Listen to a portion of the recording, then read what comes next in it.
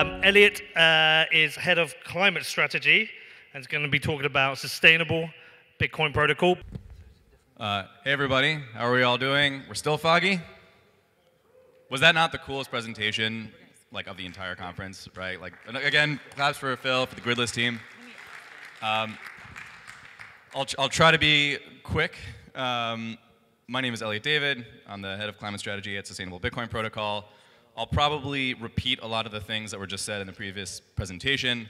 Um, I also just want to take a moment and say I don't think we all appreciate how how impactful this gridless model is going to be over the next five years. I think personally, it is going to be the single largest driver of sustainable development of any technology in the world.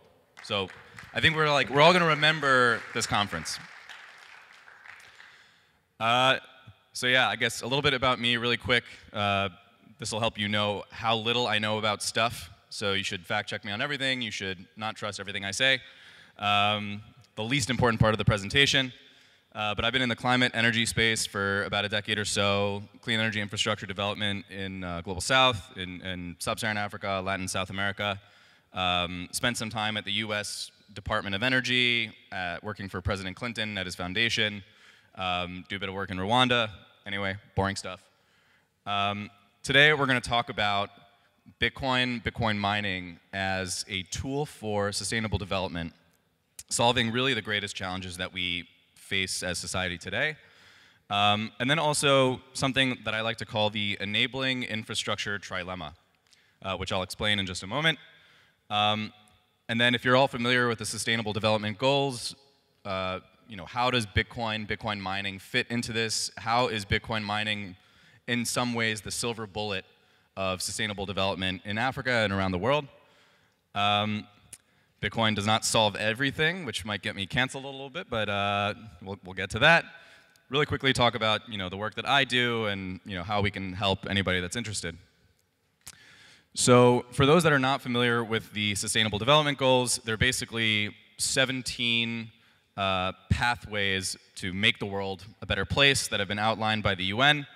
Um, but really importantly, and something we don't talk about, enough about, is a lot of these goals are interdependent on each other. So, for example, you know, good health and well-being is reliant on access to clean water and sanitation, which is reliant on access to clean and affordable energy, which is reliant on no poverty, and, and so on and so forth.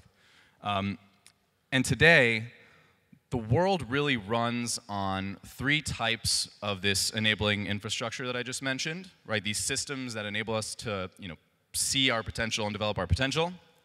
The world runs on energy, internet, and money.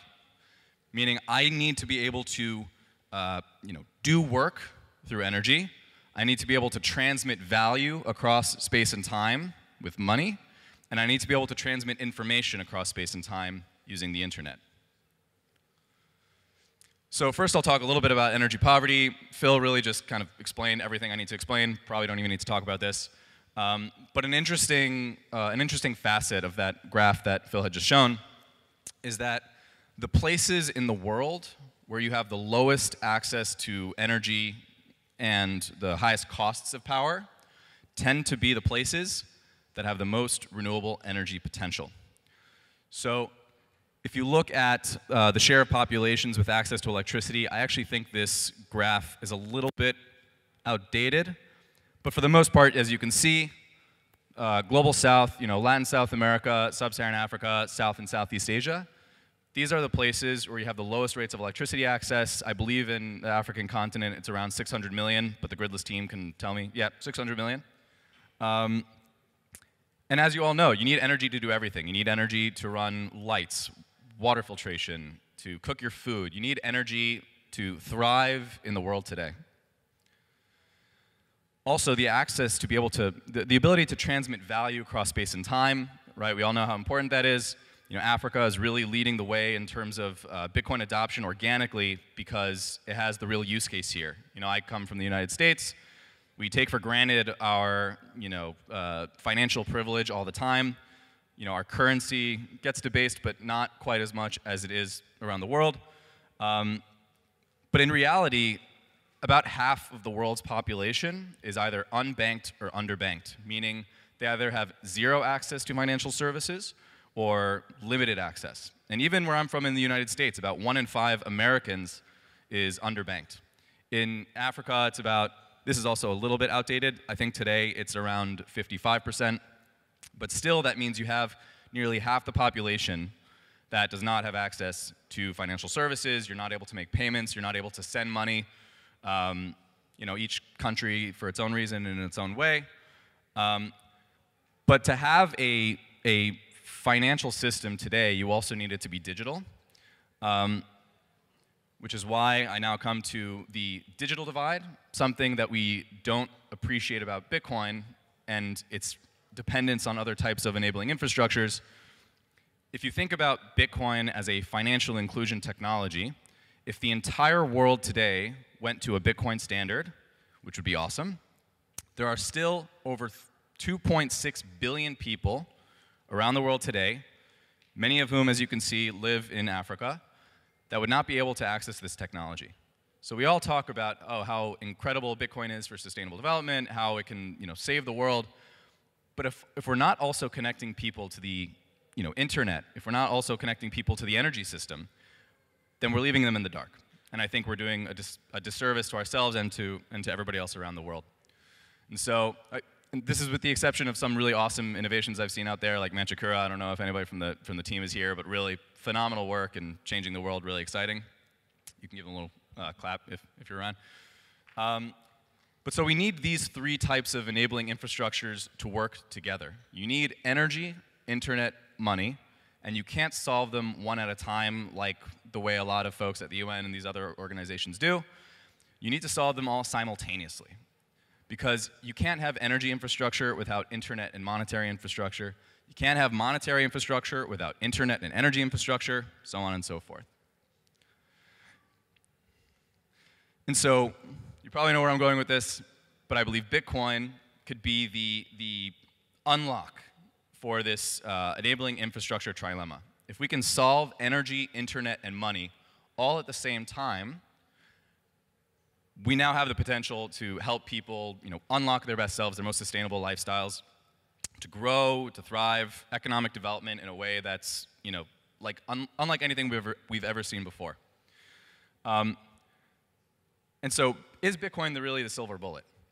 Um, I was actually going to use that uh, graphic that Phil showed in his last slide to show that uh, across the African continent, and I don't know if you can see, this is just solar, but the most renewable energy potential in the world is all in Latin South America, Africa, South and Southeast Asia.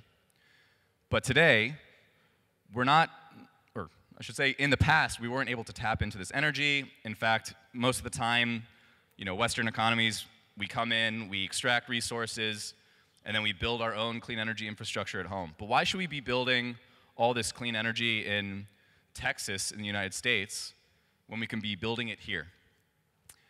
And the work that uh, you know, Gridless and Gamma, and I encourage anybody who's interested in Bitcoin mining to reach out to them, but the work that they're doing to use Bitcoin mining as a catalyst for clean energy development is going to unlock all these other types of infrastructure that enable us, us all to thrive. And so Bitcoin sits at the center of this infrastructure trilemma. This is why I think that Bitcoin is going to be the greatest tool for sustainable development. It's going to help more lives than any other technology we've seen in recent history. And some of you may already know this. I know uh, Phil talked about this a little bit already. Um, but why, why can Bitcoin do this? How come it's able to unlock all of this stranded power? Um, and maybe I'll say a really quick story, but about seven years ago or so, uh, a really terrible hurricane came through the, uh, the Caribbean in Latin America, and it totally wiped out the grid of Puerto Rico, which is a, a territory of the United States. About 3 million people living there.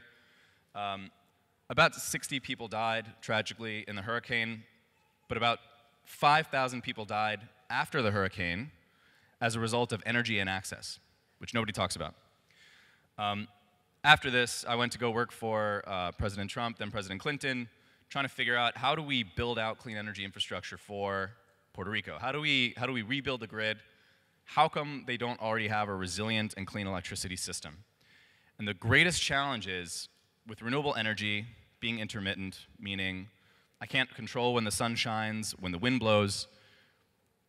There's no way to sop up, to balance that supply and demand, right? Never before, we didn't know about Bitcoin back then, right? We were sitting in these, in these meetings thinking, if only there was some kind of technology that could monetize electricity into a globally liquid currency in a flexible, location agnostic, and interruptible way. Obviously, now we have Bitcoin. So, the fact that it's interruptible, which means that I can turn on and off Bitcoin mining on a moment's notice.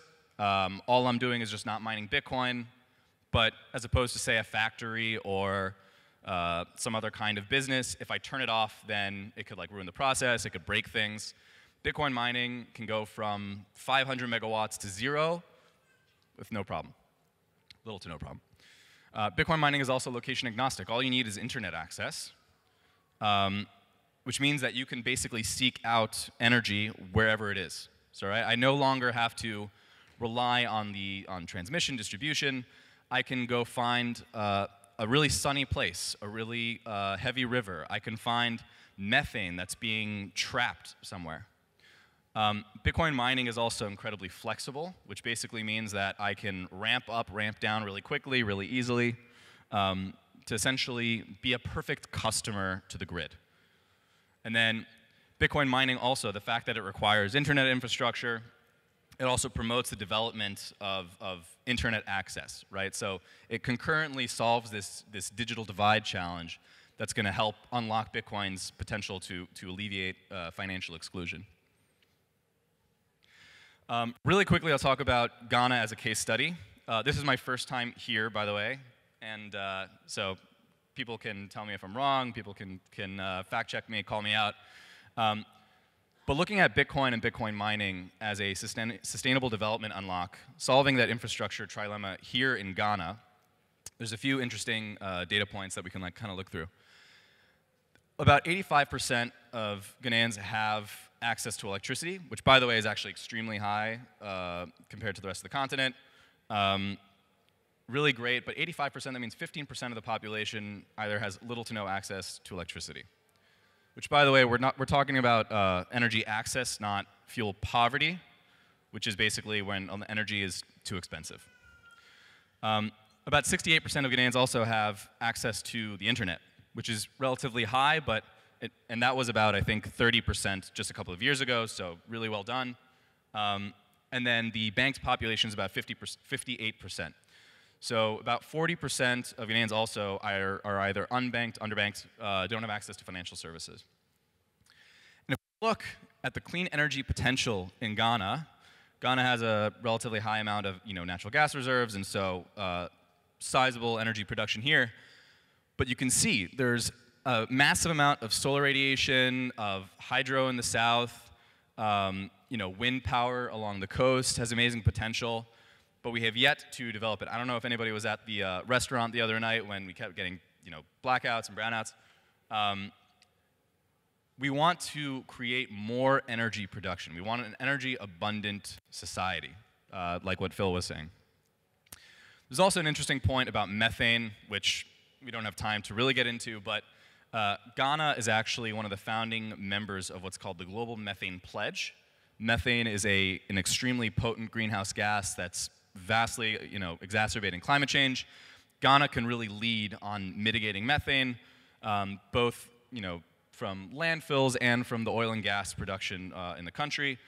Ghana could be a pioneer, a real, a real leader across the continent in terms of methane mining. Um, about two thirds of Ghana's energy supply comes from oil and gas. Uh, there's, I believe, a significant amount of flaring. I think Ghana could actually lead places like the US in terms of uh, uh, what's called zero routine flaring, basically eliminating this, this emission of methane gas across the country. Um, and then landfills uh, also cause a lot of health challenges across the country. Uh, basically, you have um, these dumps that uh, produce gas, produce pollutants, people breathe it, it causes all sorts of respiratory challenges. Bitcoin mining can literally help people's health. Um, A few points, though, I want to make a little bit of like a cautionary tale about Bitcoin mining. Um, and this might be a spicy comment, but Bitcoin mining does not solve every single problem. It is not perfect. It's a technology, like any technology. It does a lot of incredible things, and there's things that it can't do. And I think as we're trying to promote adoption, we should just recognize that. Um, so for one, and we had this uh, discussion on a panel yesterday, but with all of this abundant clean energy potential, one thing that I worry about is if all of these big, you know, massive Bitcoin miners come in and they say, wow, there's incredible energy potential in you know, Kenya and Ethiopia and across the continent, I'm going to come in and I'm going to gobble up the power. I want to make sure that anybody who's coming in to help develop energy resources follows the gridless model, right? How do you work with the local community? How do you ensure you're not just extracting resources mining Bitcoin, and then that's funding some guy that looks like me, you know, out in the United States, right? How do we, how do we make sure that this becomes uh, African sustainable development, that we, we grow the economy here, that we enable people to thrive here? Um, what I also think is important is how can we use data, transparency, storytelling? How do we show the world like what's happening here? I think at the third African Bitcoin conference next year, we should bring uh, heads of state, we should bring industry leaders from around the world and show them exactly what's going on here. I think that would be amazing. Um, we'll probably bust all the FUD immediately. Um, and then in terms of governance, I know one of the big issues is how do you work with uh, uh, local stakeholders, either you know IPPs or independent power producers, um, grid operators. How do you work with local governments? Um, how do you ensure that all this stuff is kind of done the right way? Uh, because I work for a company, I should briefly talk about that. I know I'm short on time. Um, so I work for Sustainable Bitcoin Protocol. Essentially what we're trying to do is incentivize the use of clean energy resources in Bitcoin mining. Um, we want to promote adoption. We want to get more money into Bitcoin. We want to bust all the FUD, use data and transparency to show that Bitcoin mining can actually be one of the greatest clean energy technologies in the world. Um, just to quickly talk about what we're doing. I think uh, yesterday somebody had mentioned that about 1%, or a little less than 1% of global hash rate is currently in Africa. I want to get that to 5% in the next few years, so work with me to make that happen. Um, most of the hash rate that we work with is in the United States, a little bit in Europe and Latin America. Um, today we work with about 15% of global hash rate, sort of of all Bitcoin mining. Probably going to grow to like 30 to 50% by mid next year. Um, that includes you know, publicly traded miners, kind of global Bitcoin miners that are doing everything from nuclear to methane, solar, hydro, what have you. Um, yeah, so really quickly about that. Um, I know I'm short on time, so maybe I'll just really quickly put my info up here. Uh, what I would love to say to all of you is if you want to help develop uh, clean energy Bitcoin mining across the continent in your, your home country, your hometown, let's talk about it. Let's make it happen. Um, we, I truly believe that Bitcoin mining can solve so many of society's problems, uh, especially that enabling infrastructure trilemma. I want everybody to thrive, energy abundant future. Um, yeah, and let's make Africa a pioneer of technology in the 21st century. Thank you.